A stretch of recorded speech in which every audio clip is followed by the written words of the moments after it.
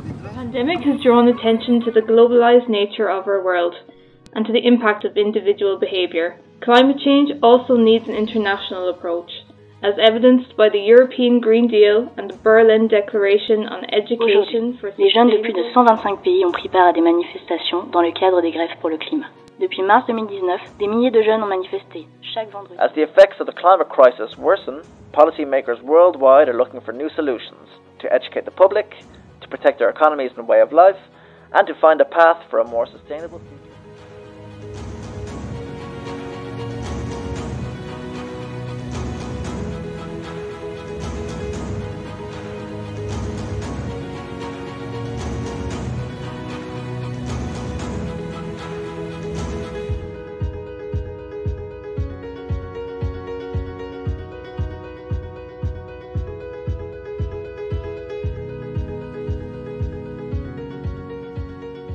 In this course, we explore these questions and start reflecting about the types of knowledge, skills, and behaviors that people are going to need in order to be able to deal with the challenges raised by a climate in crisis.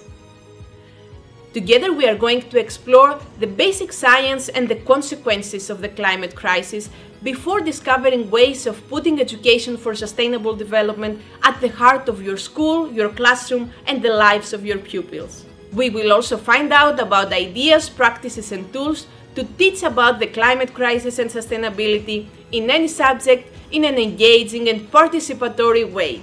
Many participants will join the course, bringing their own expertise and experience on the table, so you will definitely have an opportunity to connect with teachers from other countries and learn from each other.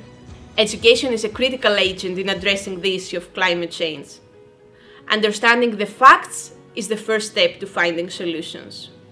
And what better place to start finding solutions than with the young people who will be affected by the crisis? Ready?